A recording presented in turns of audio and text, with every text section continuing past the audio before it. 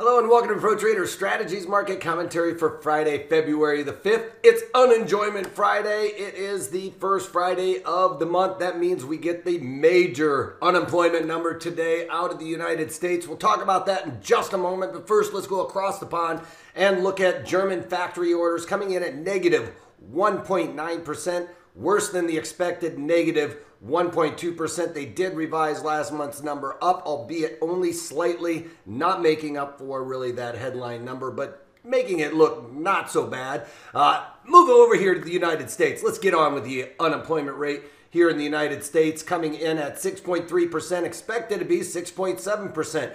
That would indicate a good sign that unemployment rate going down, meaning more and more people are employed.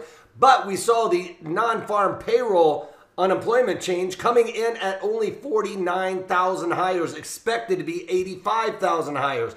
And last month's number was revised down to a negative 227,000 uh, basic layoffs there versus what was expected at 140,000 layoffs. So 87,000 more people were laid off last month than what we originally saw that makes this number look horrible. Why did the unemployment rate go down? Maybe people stopped claiming unemployment.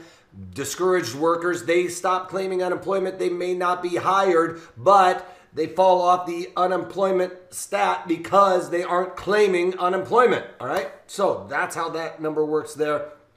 Uh, the headline number, what everybody usually looks at is that unemployment rate, but they don't dig into these details, that non farm payroll change is what we need to look at. And that shows that people are getting laid off more than they're getting hired still now with the uh, continuous lockdowns there going on uh, here in the United States. All right, let's get on with the markets. Crude oil continues to move higher. It looks like 60 is almost a sure thing, folks unless we start seeing some weakness. But yesterday we got that topping pattern, no confirmation to the upside or to uh, uh, as a top, I should say. Today, making a continuing pattern to make this look like it's going to move to the upside and test that $60 handle. Gold futures back into the 18 handle.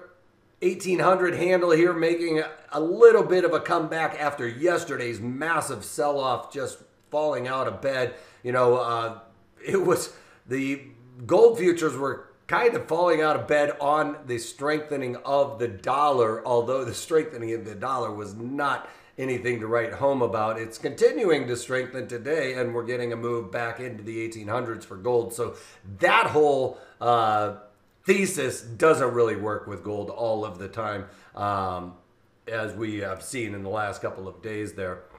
Um, bonds are continuing their weakness here. Uh, the 167 handle uh, is back in play here, trading just below our Fibonacci here.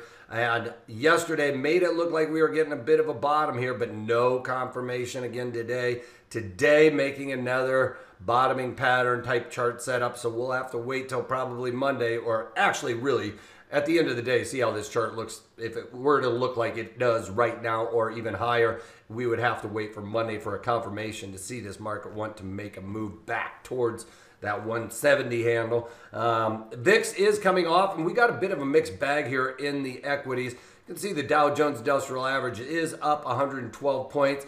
Uh, NASDAQ is up 28 points. It's probably going to be all in green right now because I just said we got a mixed bag. Uh, overnights were create or overnight highs were created, um, but not during the day session. At least uh, five minutes ago when I started shooting this, may have uh, printed that because equities were looking a little weaker uh, this morning or right before I went on here. We can see E-mini S&P is back into positive territory. Overnight high created. Tried to print that during the day session. Came up just slightly shy of printing a new high in the day session here in the E-mini S&Ps, but the day is not done.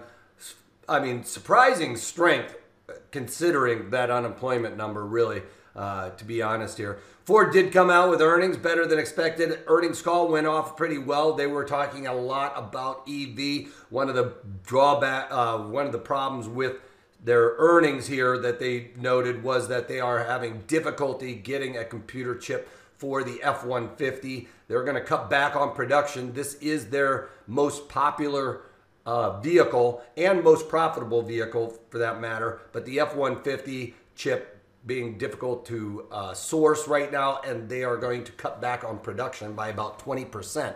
So um, those didn't, uh, th- that talk about the F 150 didn't really put a complete damper on the whole rally here. As you can see, we're still up on the day, but once they started talking about that, that's where we got the slam.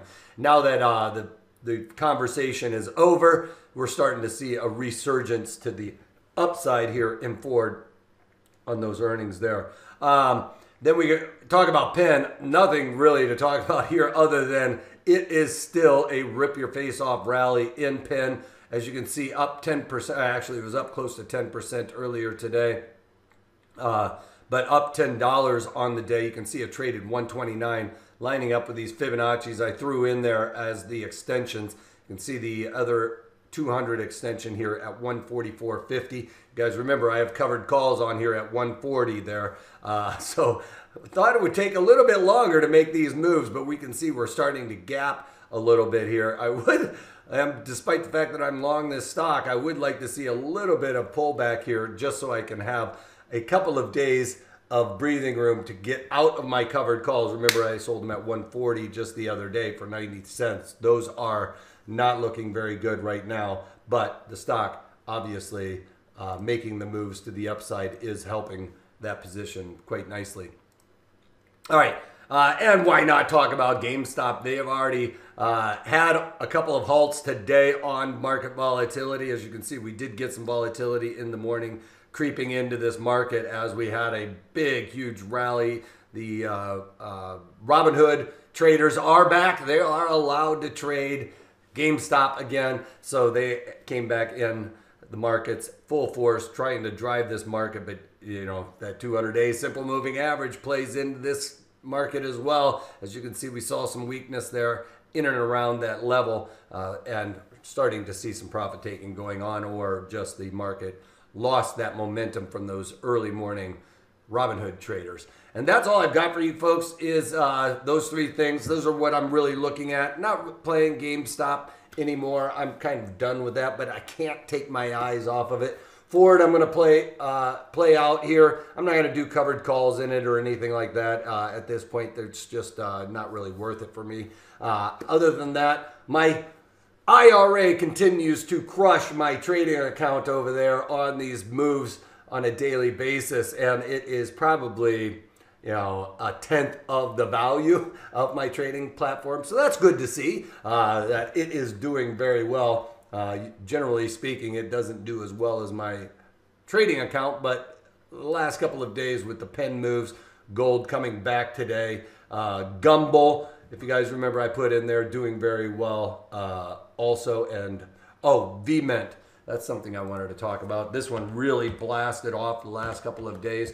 Remember, they are in the gold sector here, but they are making some big moves the last few days, as we'll see here in the chart. You can see as soon as we basically got above $1, the shorts, if there were any shorts in here, were on their heels. But this market just blasting off. You can see trading a new high today again.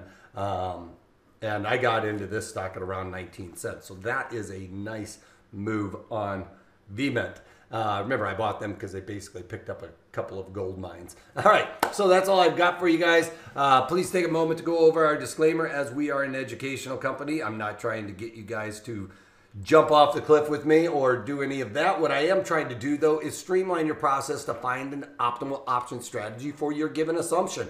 I have spent 25 years digging into these details of these underlyings and have found a process for you guys to follow in order to increase your probabilities of success with these strategies. Strike location, duration, all of those things I will explain to you so that you can easily spot the best op- uh, option strategy for any given move. All right, that's all I got for you guys. Hope everybody has a wonderful weekend and uh, stay safe. If you can't take that, take it easy.